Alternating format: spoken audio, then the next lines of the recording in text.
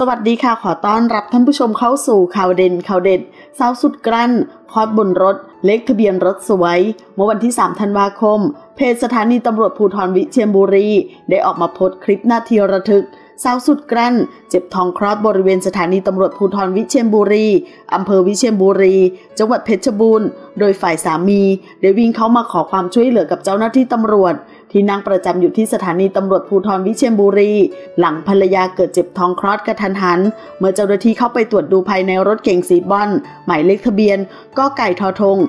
2382 เพชรบูรณ์ก็พบว่าทารกได้โผล่ศีรษะออกมาแล้ว จึงรีบโทรแจ้งโรงพยาบาลวิเชียรบุรี และประสานเจ้าหน้าที่กู้ภัย ทางกู้ภัยเทศบาลเมืองวิเชียรบุรี มาช่วยนำตัวหญิงคนดังกล่าวขึ้นรถกู้ชีพทะเบียน ก็ไก่ทอทหาร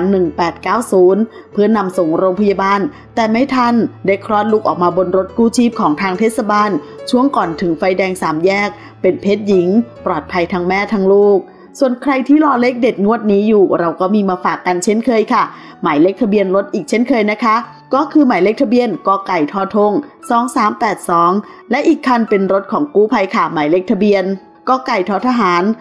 1890 ฟังอีกครั้งนะคะ 2382 และ 1890 ค่ะ งวดนี้ก็ขอให้โชคดีกันทุกคนอีกเช่นเคยนะคะ ขอขอบคุณข้อมูลจากสยามท็อปิกขอบคุณค่ะ